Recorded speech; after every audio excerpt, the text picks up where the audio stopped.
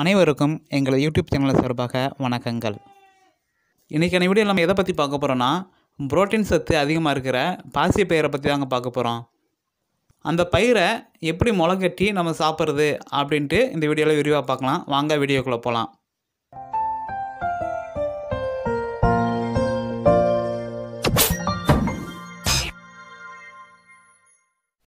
நம்ம உடல் வளர்ச்சிக்கு தேவையான புரோட்டீன் சத்தும் அந்த புரோட்டீன் சத்துக்கு அடிப்படை போலான அமினோ அமிலம் அந்த சத்துமே இந்த பாசி பயிரில் அதிக அளவில் இருக்குங்க. அது மட்டும் இல்லாமல் நம்ம மனித உடம்புக்கு ஒரு நாளைக்கு தேவையான எனர்ஜியில் இருபது சதவீதம் எனர்ஜி இந்த பாசி பயிர்லேருந்து நமக்கு கிடச்சிடுங்க.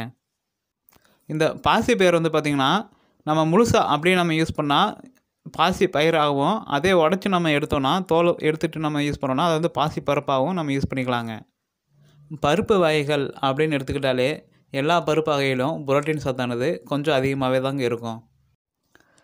அந்த அனைத்து பயிர் வகைகளுமே நம்ம வந்து வேக வச்சு தாங்க சாப்பிட முடியும். ஆனால் இந்த பச்சை பயிரை ஒன்று மட்டும்தான். நம்ம வேக வச்சு சாப்பிட்லாம். ஊற வச்சு பச்சையாக சாப்பிட்லாம். முளைக்கட்டி சாப்பிட்லாம். வறுத்து சாப்பிட்லாம். குழம்பு வச்சு சாப்பிட்லாம். இந்த பச்சை பயிர் வந்து நம்ம எப்படி ஊற வச்சு முளைக்கட்டி சாப்பிட்றது அப்படின்ட்டு பார்க்கலாம். வாங்க.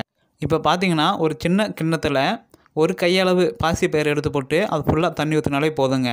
நீங்கள் தண்ணி கம்மியாக ஊற்றுனீங்கன்னா அந்த பருப்பு வந்து ஊறுறதுக்கான தண்ணி வந்து பற்றாமல் பா நல்லா ஊறாதுங்க. தண்ணியை ஃபுல்லாக ஊற்றிட்டு ஒரு மூடியை வச்சு நல்லா மூடி வச்சிடணுங்க. தூசி சேது விழுகாமல் குறைஞ்சது எட்டு மணி நேரம் அந்த பருப்பு ஊற வச்சதுக்கப்புறம் தண்ணி ஃபுல்லாக வடைச்சிட்டு வச்சுக்கணுங்க. இப்போ இந்த எட்டு மணி நேரம் ஊற வச்சதுலேயே பார்த்தீங்கன்னா பயிர் பார்த்திங்கன்னா நல்லா ஊறி அந்த மேலே இருக்க தூளெல்லாம் கொஞ்சம் வெடித்து வந்திருக்குங்க. நம்ம இப்படி சாப்பிட்றது காட்டிலும் இன்னும் முளைக்கட்டி சாப்பிட்னா நமக்கு முழு சத்துமே நமக்கு தாராளமாக கிடைக்குங்க.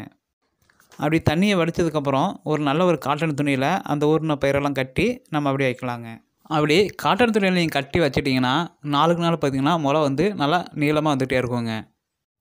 இல்லை நாங்கள் வந்து பாத்திரத்தில் வச்சுக்கிறோம் அப்படின்னு நீங்கள் சொன்னாலும் வச்சுக்கலாங்க. அப்படி பாத்திரத்தில் வைக்கும்போது தண்ணி வடிகட்டும் போது ஃபுல்லாக ஒரு சொட்டு தண்ணியெல்லாம் வடிகட்டிடணுங்க. அடியில் கொஞ்சம் தண்ணி இருந்ததுன்னா அது ஒரு நாள் ரெண்டு நாள் கழித்து பார்த்திங்கன்னா அடியில் வந்து கொஞ்சம் கொஞ்சமாக அழுகி ஒரு மாதிரி வாடடிக்க ஆரம்பிச்சிடுங்க இந்த கிண்ணத்தில் பார்த்திங்கன்னா கொஞ்சோண்டு ஒரு கை அளவு தாங்க பாசி பயிர் போட்டோம். இப்போ அது பார்த்திங்கன்னா நல்லா ஊறி முளைக்கட்டி ஒரு கிண்ணம் ஃபுல்லாகவே பயிர் வந்துருச்சுங்க.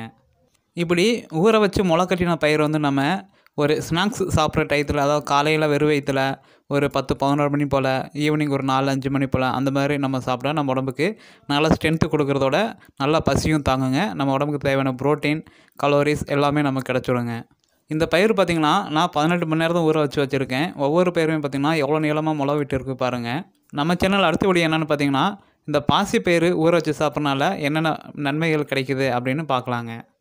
இந்த வீடியோ உங்களுக்கு பிடிச்சிருந்ததுன்னா லைக் பண்ணுங்கள் கமெண்ட் பண்ணுங்கள் ஷேர் பண்ணுங்கள் மறக்காமல் நம்ம சேனலுக்கு நீங்கள் புதுசாக வந்தீங்கன்னா சப்ஸ்கிரைப் பண்ணி கூடவே பக்கத்தில் இருக்க பெல் பட்டனை கிளிக் பண்ணி ஆல் என்ற ஐக்கானை கொடுங்க தேங்க்யூ ஃபார் வாட்சிங்